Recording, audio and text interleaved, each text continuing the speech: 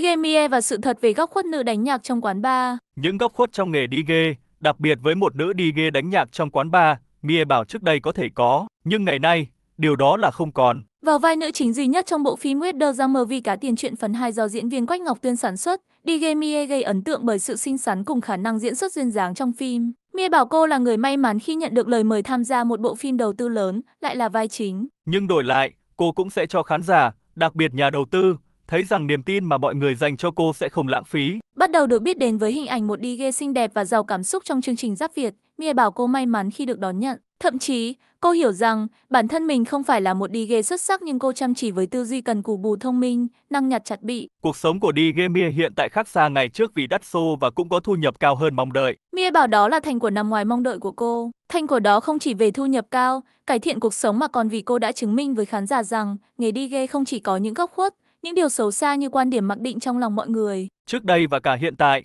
nhiều người vẫn nghĩ về DJ là hình ảnh một cô gái bốc lửa, cơ thể được che chắn bởi tầm vải mỏng tang, ăn mặc như đi biển hay chí ít là đổ ra bốc lửa, cùng hình xăm khắp người và phì, phèo thuốc lá. Nhưng Mie bảo, thực ra mỗi người một phong cách. Cô yêu thích phong cách công chúa nên từ xưa đến nay, cô vẫn là nữ DJ ăn mặc bánh bèo và trong mắt mọi người là xến xúa. Tôi từng bị đuổi việc vì mặc váy công chúa đi làm cùng lời gợi ý, thay đổi cách ăn mặc thì có việc làm, lương cao, nhưng tôi nhất quyết không dù vài tháng sau đó, tôi ăn mì gói liên tục ngày mồng ba bữa. Mọi người cũng hay nói rằng, môi trường của quán bar đặc quánh mùi bia rượu, khói thuốc cũng dễ khiến cho một nữ đi ghê xa ngã. Một người sinh ra trong gia cảnh khó nghèo, luôn đau đáu làm thế nào để có thể kiếm được nhiều tiền như tôi, lại càng dễ chết chìm trong những mật ngọt, ong bướm với hứa hẹn về ti. Với người khác thế nào tôi không rõ nhưng với tôi gần bùn mà chẳng hôi tanh mùi bùn chính là cuộc sống của tôi đến mìa nói. Những góc khuất trong nghề DJ, đặc biệt với một nữ DJ đánh nhạc trong quán bar, Mie bảo trước đây có thể có, nhưng ngày nay, điều đó là không còn. Bởi một trong những điều kiện mà cô luôn đưa ra với lời mời biểu diễn là bảo đảm an ninh tuyệt đối. Chính vì không tiếp cận gần khán giả nên hiểm họa,